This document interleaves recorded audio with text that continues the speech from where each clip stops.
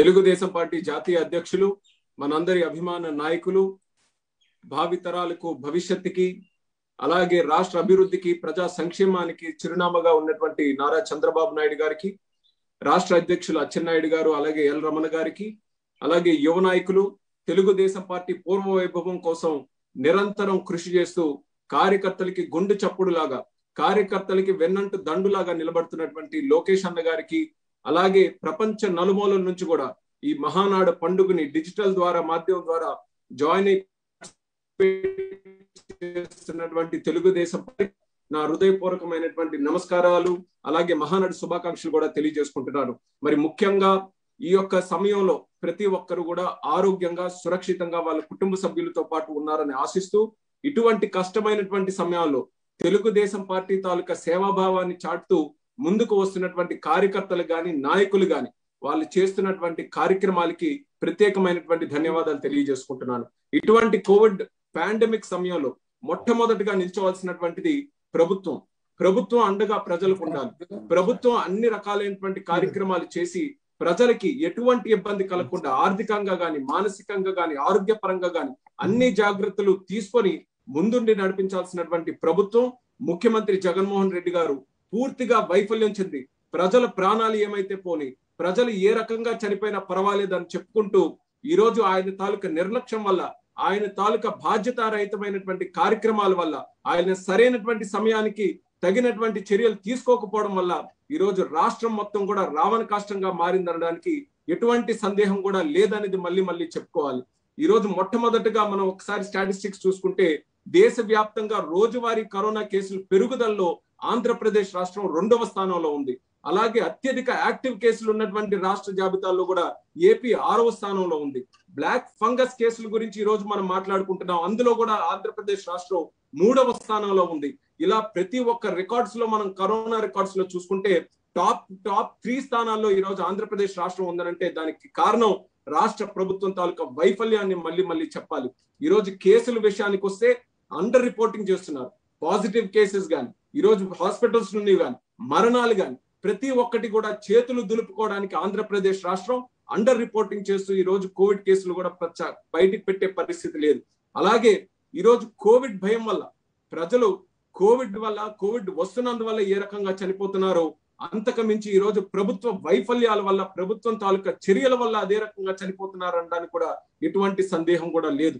ప్రజలు ఈరోజు హాస్పిటల్కి హాస్పిటల్కి వెళ్ళి ఈ జబ్బుని కరోనాని నయం చేసుకోవాలని అంటే భయపడేటటువంటి పరిస్థితి ఈ రోజు ఆంధ్రప్రదేశ్ రాష్ట్ర ప్రజల్లో జగన్మోహన్ రెడ్డి గారు కల్పించారన్నటువంటి విషయాన్ని కూడా నేను తెలియజేసుకుంటున్నాను. ఇప్పటికీ కూడా చూసుకుంటే అంటే కరోనా పూర్తి స్థాయిలో రాష్ట్రాన్ని రాష్ట్ర ప్రజల్ని పేదవాళ్ళని ధ్వంసం చేసిన తర్వాత కూడా ఆక్సిజన్ గాని ఆక్సిజన్ ప్లాంట్స్ కానీ ఆక్సిజన్ స్టోరేజ్ సెంటర్స్ కానీ లేకపోతే బెడ్స్ కానీ మరి అలాగే ఇంజెక్షన్స్ మనకు కావాల్సినటువంటి మెడిసిన్స్ కానీ ఇలా అన్ని మెడికల్కి సంబంధించినటువంటి అన్ని ఇన్ఫ్రాస్ట్రక్చర్లో కూడా ఇప్పటికీ కూడా ఫెయిల్యూర్లో ఉన్నటువంటి రాష్ట్రం ఆంధ్రప్రదేశ్ రాష్ట్రం.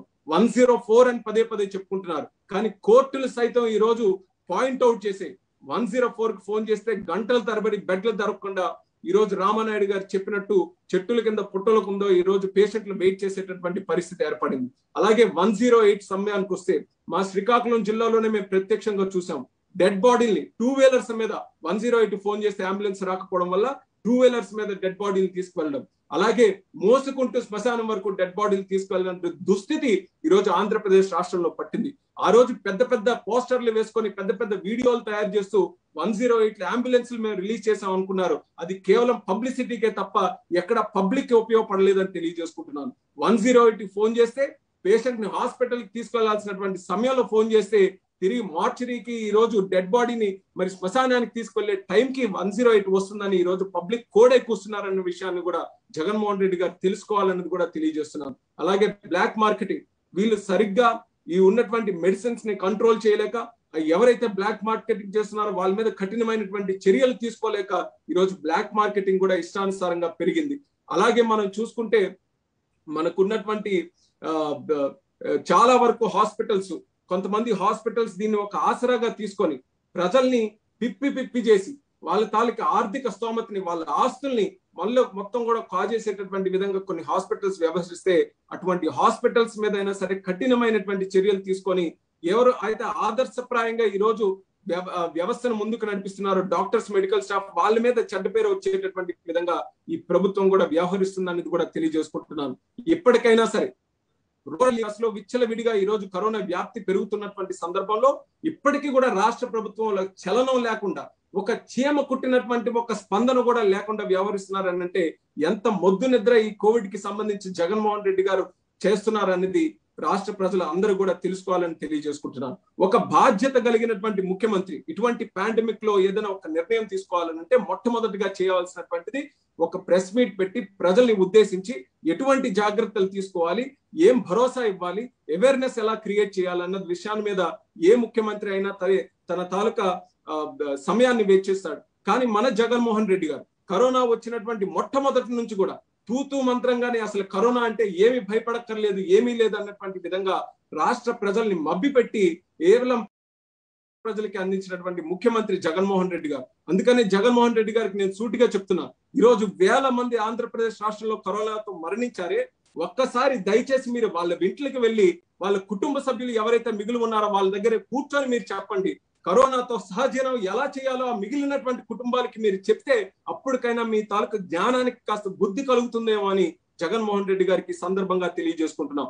అలాగే బాధ్యత కలిగినటువంటి ఒక ముఖ్యమంత్రి అయితే రివ్యూ మీటింగులు పెట్టి అలాగే కేబినెట్ మీటింగులు పెట్టి డిస్ట్రిక్ట్ స్థాయిలో రాష్ట్ర స్థాయిలో మీటింగులు పెట్టి ఏ అవసరాలు ఉన్నాయని యుద్ధ ప్రాతిపదికన దానికి కావాల్సినటువంటి కార్యక్రమాలన్నీ కూడా చేయాల్సినటువంటి బాధ్యత ఒక ముఖ్యమంత్రి మీద ఉంటుంది. కానీ మన జగన్మోహన్ రెడ్డి గారు కోవిడ్ ఎంత విజృంభించినా ఎన్ని ప్రశ్నలు కోవిడ్కి సంబంధించి రాష్ట్ర ప్రభుత్వానికి ఎదురైనా సరే అవన్నీ కూడా పక్కన పెట్టి జగన్మోహన్ రెడ్డి గారు అత్యధిక అవసరం మీద తీసుకున్నటువంటి నిర్ణయాలు అచ్చెన్నాయుడు గారికి అరెస్ట్ చేయండి దూలిపల్లి నరేంద్ర గారికి అరెస్ట్ చేయండి జేసీ ప్రభాకర్ రెడ్డి గారిని అరెస్ట్ చేయండి జనార్దన్ రెడ్డి గారిని అరెస్ట్ చేయండి. కొల్లు రవీంద్ర గారిని అరెస్ట్ చేయండి. ఇలా తెలుగుదేశం పార్టీ వాళ్ళు ఎవరైతే ప్రభుత్వం మీద మాట్లాడతారో వాళ్ళని అరెస్ట్ చేయండి. అవసరమైతే చంద్రబాబు నాయుడు గారి మీద కూడా కేసులు పెట్టండి. ఇది ఈ యొక్క కరోనా ఉద్యమిస్తున్నటువంటి సమయంలో రాష్ట్ర ప్రభుత్వం తీసుకున్నటువంటి అత్యవసరమైనటువంటి నిర్ణయాలు.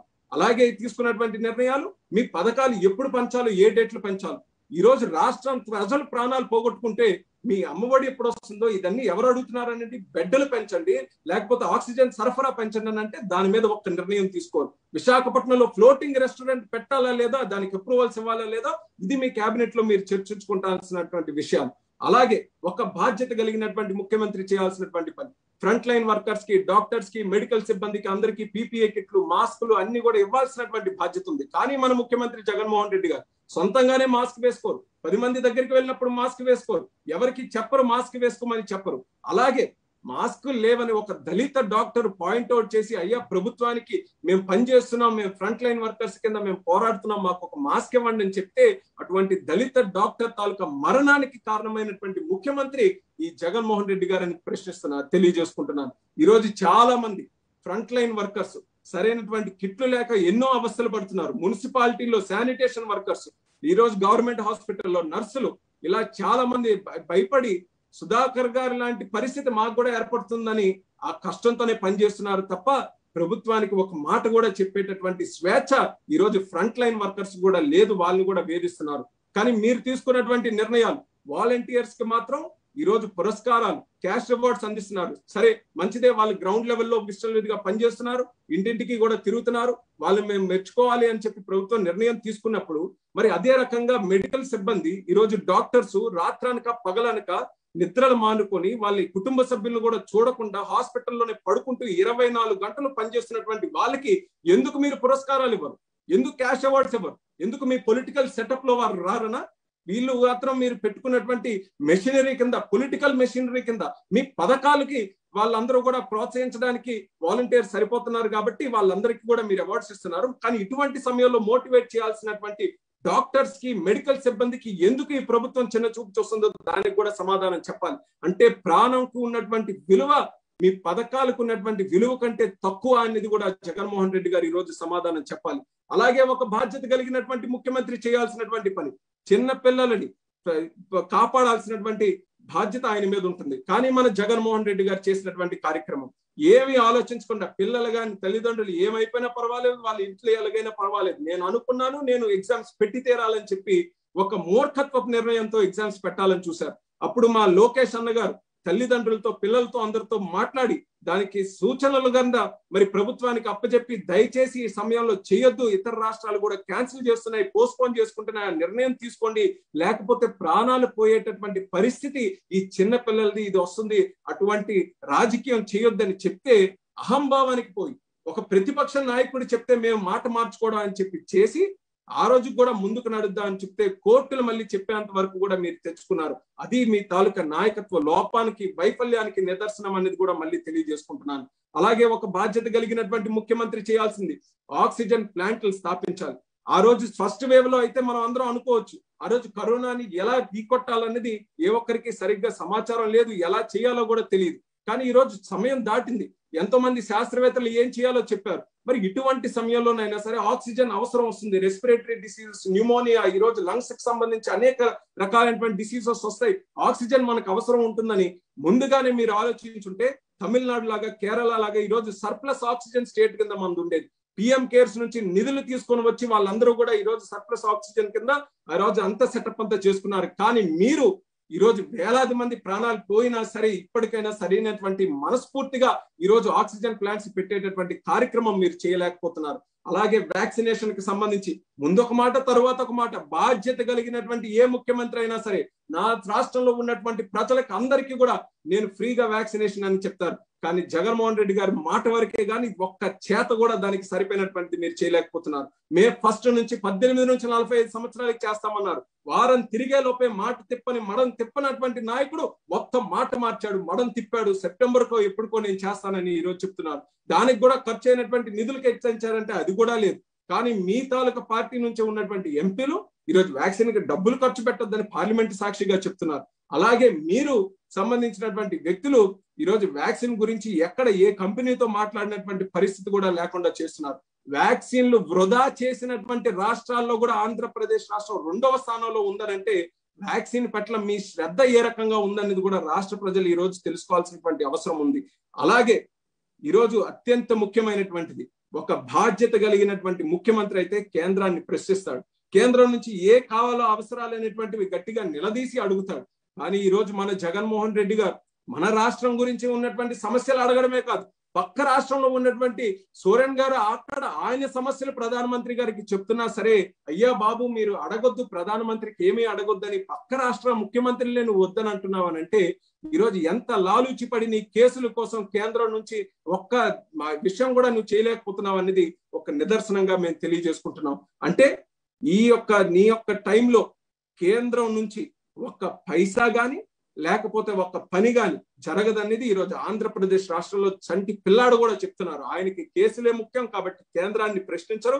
వ్యాక్సిన్స్ గురించి కానీ లేకపోతే రాష్ట్రం కావాల్సినటువంటి అవసరాల గురించి కానీ దేని గురించి కూడా మాట్లాడరు అనేది ఈరోజు స్పష్టంగా రాష్ట్ర ప్రజల కోసం తెలుస్తుంది. మరి ఇటువంటి వైఫల్యాలతో ముందుకు వెళ్తే రాష్ట్రంలో అసలు ప్రాణాలు మిగులుతాయా లేదా అనేటువంటి పరిస్థితిలో ప్రజల భయాందోళనకు గురవుతున్నారు. కానీ ఒక్కసారి మీరు ఆదర్శంగా పనిచేయాలనంటే చంద్రబాబు నాయుడు గారి గురించి ఒక్కసారి మీరు మళ్ళీ తెలుసుకోండి.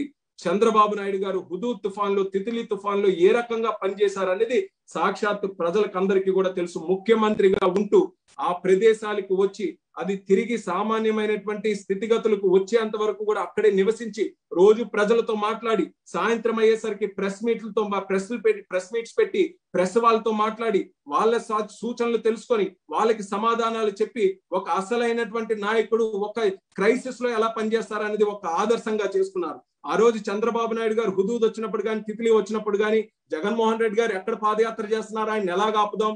విజయసాయి రెడ్డి గారికి ఎన్ని ఆస్తులు ఉన్నాయి? ఎన్ని కంపెనీలు ఉన్నాయి? ఆయన మీద ఎలా కేసులు పెడదాం? లేకపోతే సజ్జల గారు ఎక్కడున్నారు? ఏ జైల్లో పెడదాం?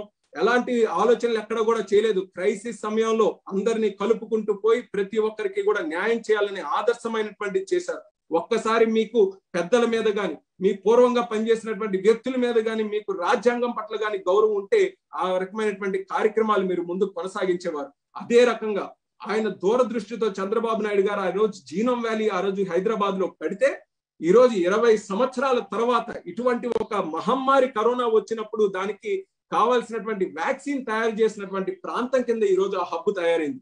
అటువంటి హబ్బు తయారు చేయడానికి ఆయన దూరదృష్టి. ఆ రోజు చాలా మంది అన్నారు ఎందుకండి వేస్ట్ అండి? ఇటువంటివి ఈ రోజు ఏం ఉపయోగం లేదని.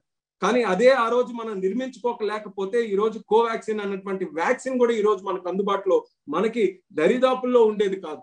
అటువంటి పరిస్థితుల్లో మీరేం చేస్తున్నారు? మీ తాలూకా దృష్టి ఏ రకంగా పనిచేస్తుంది? మీ చూపు ఏ రకంగా పనిచేస్తుంది? ఎంత చక్కగా జీనోమ్ వ్యాలీ మన పక్కనే ఉన్నటువంటి తెలంగాణ రాష్ట్రంలో హైదరాబాద్ నగరంలో చేస్తే మీరు మీ మంత్రులు మాట్లాడేది ఆయన కులం పేరు పెట్టి మాట్లాడతారా? వ్యాక్సిన్ కూడా కులాన్ని మీరు అందరూ అర్థగడతారా ఇటువంటి చూపు ఉన్నటువంటి మీకు రాష్ట్రాన్ని పరిపాలించే హక్కు అధికారం మీకు ఉందా అనేది ఒక్కసారి మీ మాటలు మీరే చూసుకొని సిగ్గుపడండి అనేది కూడా వైఎస్ఆర్ పార్టీ వాళ్ళకి మరొకసారి తెలియజేసుకుంటున్నాను. అలాగే ఆంధ్రప్రదేశ్ రాష్ట్రంలో ఏమీ లేకుండా కొత్త రాష్ట్రం మనం స్థాపించుకున్నాం అన్నటువంటి టైంలో కూడా ధైర్యంగా ప్రతి ఒక్క ప్రాంతానికి కూడా డీసెంట్రలైజ్డ్గా ముందుకు నడిపించి విశాఖపట్నంలో మెట్టెక్ జోన్ క్రియేట్ చేశారు. అదే మెట్టెక్ జోన్లో ఈ రోజు oxygen concentrators oximeters medical supplies కావాల్సినటువంటి ఎక్విప్మెంట్ మాస్కులు ఇలా రకరకాల పరికరాలన్నీ కూడా అక్కడ తయారు చేసి మన రాష్ట్రానికి ఇతర రాష్ట్రాలకి కాదు దేశం మొత్తం మీద ఉన్నటువంటి ప్రాంతాలకు కూడా అక్కడి నుంచి మనం పంపిస్తున్నాం. అది దూరదృష్టితో పనిచేయాల్సినటువంటి నాయకుడు తాలూకు లక్షణాలు. కానీ మీరు మాత్రం ఎంతసేపు కూడా ఈ రోజు మీరు మీరే అధికారంలో ఉన్నారు మీరే పవర్లో ఉన్నారు కానీ మీరు చేయాల్సినటువంటి కార్యక్రమాలు కూడా చేయకుండా ప్రజలు అడిగినా మేము ఈ రోజు ప్రతిపక్షం కింద ప్రజల మాట మీకు చెప్పినా సరే చంద్రబాబు నాయుడు గారికి తెలుగుదేశం పార్టీకి మా అందరికి మీరు తిట్టడం తప్పితే ఈ రోజు మీరు బాధ్యతగా మీకు ఉన్నటువంటి అధికారాన్ని ఏ రకంగా ఉపయోగించుకున్నారనేది ఒక్కరు కూడా సక్రమంగా సమాధానం చెప్పుకోలేనటువంటి పరిస్థితి ఈ వైఎస్ఆర్ కాంగ్రెస్ పార్టీ ప్రభుత్వానికి ఉందనేది కూడా నేను తెలియజేసుకుంటున్నాను. అందుకనే మళ్ళీ మళ్ళీ మేము ప్రజల తరపున డిమాండ్ చేస్తున్నాం. ఇప్పటికైనా సరే మొద్దు నిద్ర మానండి.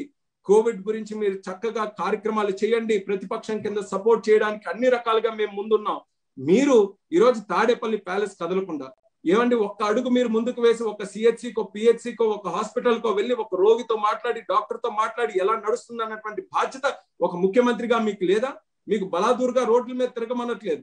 వందల మంది వేసుకొని మీటింగ్లు ఏం పెట్టమనట్లేదు. కేవలం ఒక హాస్పిటల్కి వెళ్ళి ఏ రకంగా ఈ రోజు ఉన్నటువంటి పరిస్థితుల్లో జరుగుతుంది అనేది ఒక ముఖ్యమంత్రిగా మీకు సందర్శించమంటున్నాం. మీరు ఎలాగో మీ తాడేపల్లి ప్యాలెస్ నుంచి కదలరు.